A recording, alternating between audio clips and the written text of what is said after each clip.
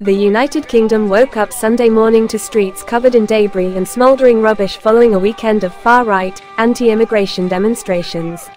Stoked by conspiracy theories spread on social media, the protests erupted into violence in seven cities across the nation. Police arrested at least 100 people, with riot police in helmets and shields coming out in force as Prime Minister Keir Starmer pledged to take action against extremists.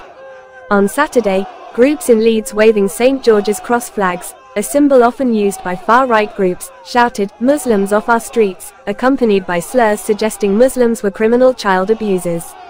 In Hull, rioters threw bottles and smashed windows at a hotel housing asylum seekers as they clashed with police.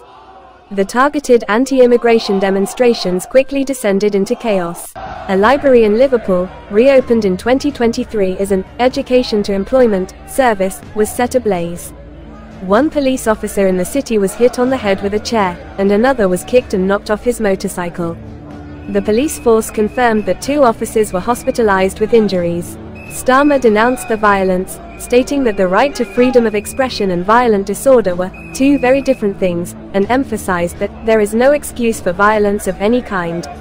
Not all protests turned violent. In Bristol, demonstrators shouted, We want our country back, and England, till I die, while clashing with counter-protesters who chanted, Racist scum, off our streets. The widespread unrest has sparked significant concern and a strong response from the government, highlighting the tension and division within the country over immigration and national identity. Three children were slaughtered in Southport just a week ago, and people have every right to be angry about that. Before these three children, it was the 7 7 bombings, it was the London Bridge attack, it was the Westminster attack, it was the killing of Lee Rigby, a British soldier, on our streets, the killing of a Conservative MP, the arena bombing where our kids were killed, and the stabbing of an army officer just a few weeks ago, not to mention a few.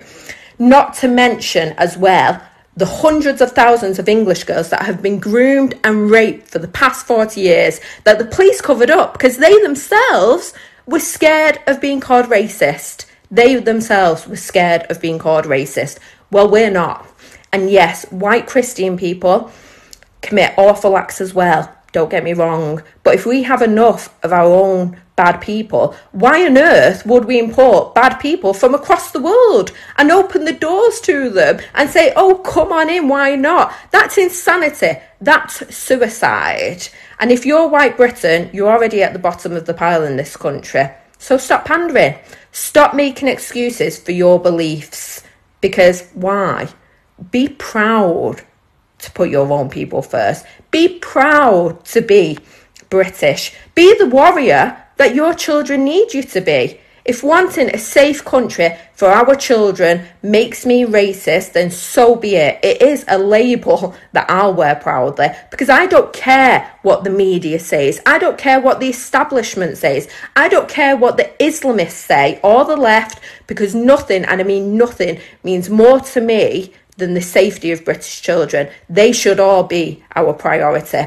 We are the leaders and they are the future. It's up to us to fight for their survival. And mark my words now, if we don't fight with every fibre of our being, then British children will not have a future in this country. There'll be nothing left for them. Is that the legacy that you want to leave? It's not the legacy I want to leave. It's not the legacy that our, you know, generations of our people left for us. They left us a legacy, and it's our duty now to fight for our children, fight for our country, and take it back. Yeah.